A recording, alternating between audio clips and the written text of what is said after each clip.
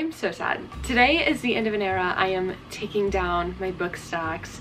They've gone through a lot. They've seen a lot. I'm surprised being the clumsy individual that I am that they're all in pristine condition still. but essentially I've accumulated, I don't even want to say way too many books because you can never have too many books, but too many for my room. So I convinced my parents to let me turn one of our spare bedrooms into a library. So I'm super excited.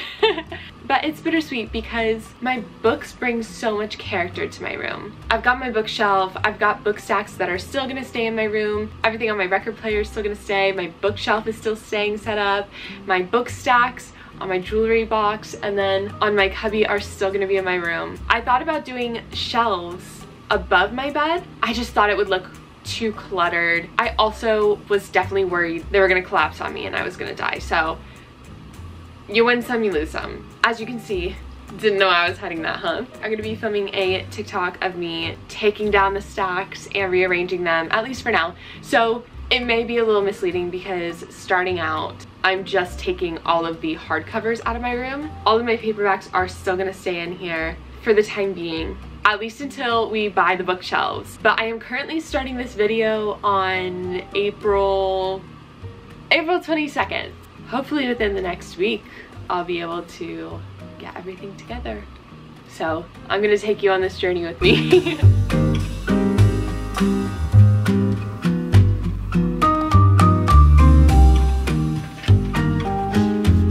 oh no!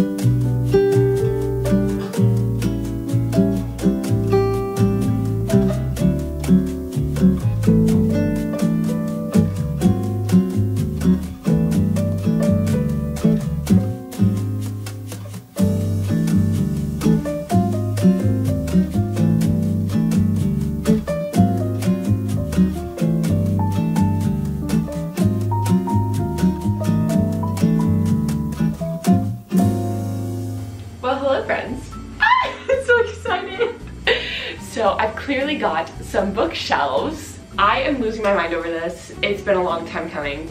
Okay.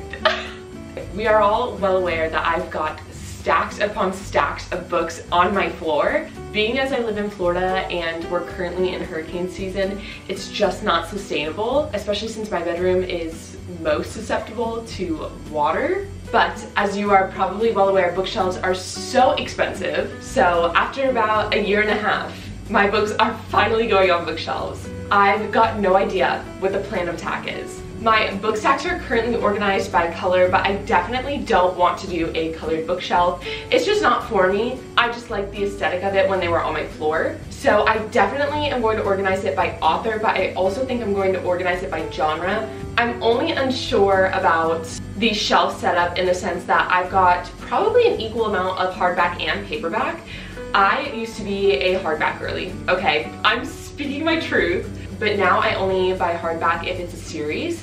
So I think I'm either going to do one shelf as all hardbacks and the other is all paperbacks, still organized by genre and author. I'm so excited. I just posted a video on my Instagram story just the layout of the bookshelves and everybody is so excited and it's making me excited. I am just so excited to share this experience with you because a lot of you have just been waiting for me to get bookshelves. I've got three normal size shelves and one narrow shelf. So I've got a couple PR boxes that I've kept. They're currently under my bed. I thought I was going to put them on the narrow shelves, but everyone's checking me out. I think I'm only going to use three-fourths of the shelf space but everyone in my family thinks I'm going to use all of it. They think it's going to be barely enough. So comment down below how many shelves you think I'm going to fill. So I was going to go with the Billy bookcases, but I do still live with my parents. So just looking toward the future, when I do decide to move out on my own, these actually match the bookcase that is in my room. So to start, I think I'm definitely going to bring all my books in here. They are everywhere. I've got two bins about this long with hardback books in our spare bedroom and then I've got all of the books on my floor. I'm not sure what books I want to take out of my room, if any. I've got my bookshelf, then I've got my Krista and Becca Ritchie shrine. I want to keep the Addicted and Calloway Sister series in my room so bad, but I own at least five copies of each book, so my collection is only growing. It's not stopping anytime soon. I've also got my cubby that's got a lot of my signed and out of print editions. So I love the way the color palette looks in my room, but I'm leaning toward making that my priority TBR shelf. Originally, I was also going to separate all of the books that I've been sent from the rest of my collection. I'm still unsure if I'm going to do that. I may just make a separate shelf on my Libib. I made a video of me cataloging almost all of my books a couple of weeks ago, Libib is the app I was using to do that. Since you can create multiple shelves, I think I may just make one titled Gifted. But once all the books are on the shelf, then I'm going to turn around all of the books I've already read. I am very blessed to be able to put all of my books on shelves, but I also want to give you a disclaimer that this entire room is not mine. It's our home office and workout space. So since we live in Florida, our garage is too hot to put workout equipment in since one of my siblings is obsessed with fitness and working out, I share the room with them. So I would do a home office tour, but it's not very aesthetically pleasing from my outlook. but I will say the compromise did work well because I've got one corner of the room and they've got another. So I do think I'll still be able to film in here. But without further ado, let's get started.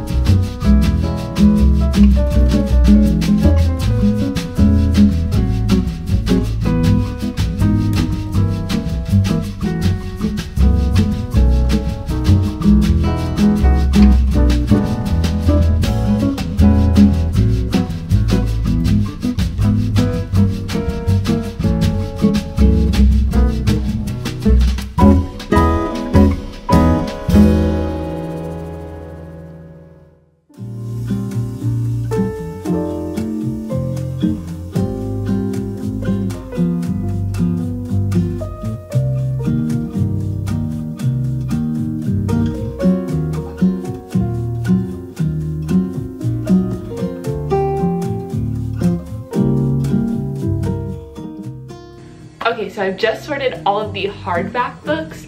I'm still not sure the way I'm gonna set this up. So I'm thinking one of the bookshelves in the far corner is going to be all hardback, but I was going to put the sprayed and special editions on the narrow shelf, but I think I'm actually just going to put them on top of the hardback shelf. I'm still debating on what I want this narrow shelf to be, so thus far, I originally thought it was going to be PR boxes. Then I decided I wanted to do the sprayed edge and special editions on it. Then I decided I wanted to do an author spotlight because I've got a lot of duplicate copies of books by authors I absolutely love. So Kristen Mac Taylor Jenkins Reid, Emily Henry. I think that's what that shelf is gonna be. But I've got an entire bin of book of the month books. Truthfully, I don't think I'm going to keep them. I may still put them on the shelves, at least until I sell them, but I think I'm only going to keep copies of the books that I've already read and absolutely love. But it's also difficult because I don't want to buy these again as paperbacks. So that's why I think I'm just gonna keep them on my shelf for now. But the only time I think I'm going to put the hardback and paperback books together is when I do an author spotlight. It's so bittersweet.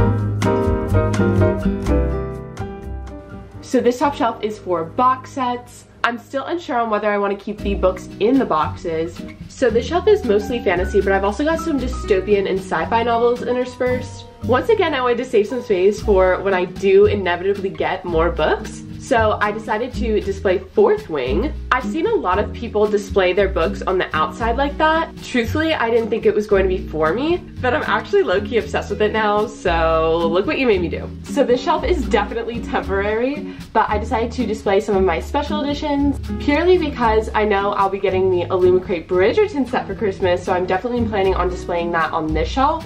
I'm very excited mostly because it's gonna be the break between most of my fantasy novels with the darker covers, as opposed to all of the rest of my novels that are much brighter when it comes to the color scheme. So I'm definitely very excited to see that displayed. Then we've got this beautiful, lovely shelf that is all of the rest of my hardbacks. I did decide to color coordinate just this shelf because while I wasn't wanting to color coordinate my entire library, I didn't mind just a shelf or two being color coordinated. That brings me to... So these are all of my book of the month books. I also color coordinated these. Truthfully, I'm not sure whether or not I'm gonna keep them purely because I am a paperback girly now. When I started my book of the month subscription, I was hardback without a doubt. I wanted hardback and everything just because I thought it was more durable. While that is true, it is definitely not sustainable when you're annotating your books like I do, but until I decide they are on the shelf, then we've got this shelf. Actually, we're not gonna talk about this side of the shelf, but we will talk about this side. So I don't have very many young adult books, but the ones I do have are in this corner. I was pleasantly surprised that they all fit. You can see that I also started turning around some of the books that I've read. I am still undecided on whether or not I want to do that. I probably will, but since everybody wants an in-depth book tour, I probably won't turn all of my books around until then. So this shelf is where the rom-coms end, but the angstier romances reside. I've got quite literally no space to add any more books to the shelf. As you can tell, I am still undecided on turning the books around. I definitely kept the Christina Lauren books that I'd already read turned around just because their books don't follow a specific color scheme. So whereas my Emily Henry books look like they belong next to each other, the Christina Lauren books don't look as cohesive. Then we've got these three shelves that are my rom-com shelves. I put mostly BookTok books on this top shelf so we've got my Emily Henry collection, then Ali Hazelwood, then Elena Armas. Truthfully, I'm not sure whether or not I'm going to keep those books. I absolutely despise the Spanish Love Deception, so I can't see myself enjoying the American Roommate Experiment, especially given the reviews that I've read. But then we've got some Rachel Lynn Solomon, then we've got my Tessa Bailey Shrine. Would you believe me if I told you those are not all my copies of Unfortunately Yours? I still own another one. But then I got this book yesterday, but I was definitely panicking because at the point that I got it, my entire rom-com section was full. There was no space. So I actually have my Tessa Bailey book spread out between this stack and next to it, but I ended up just putting it all in one stack.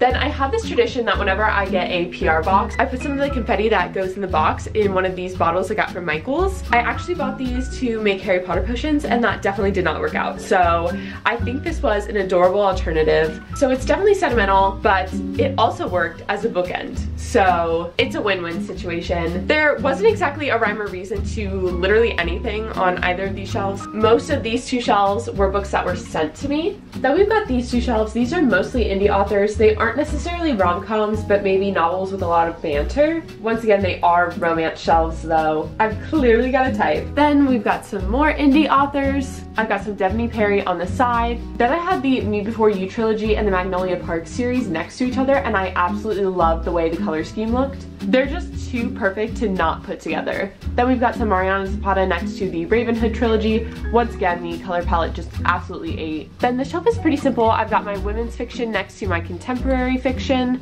Then the shelf is shelfing, truthfully. It's all over the place.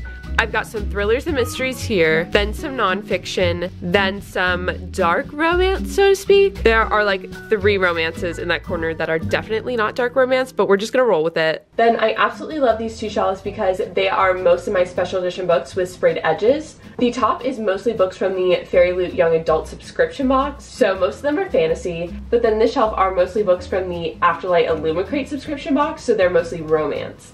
Then I've got this special edition of Bridgerton. She's just there, she's just vibing. I do still have most of my books from the Afterlight box in my room, but these are most of the ones that didn't go with my aesthetics, so. then we've got my Taylor Jenkins Reid shelf. As I told you earlier, I was thinking about making this an author spotlight shelf, so I decided to try that out with Taylor Jenkins Reid purely because I've got so many copies of all of her books. She is one of my Holy Trinity authors. Then I've got this gorgeous Fairy Loot exclusive of The Seven Husbands of Evelyn Hugo displayed. It is one of my most prized possessions. Then I've got some Waterstones exclusives interspersed with the Book of the Month copies of some of her books. Then we've got my beautiful Harper Muse Classics. This is the Jane Austen collection. They actually sent these to me and I was absolutely gagged, let me tell you. I've never been sent prettier books before this. Then Bum, bum, bum. We've got the last shelf. She is the junk drawer of shelves.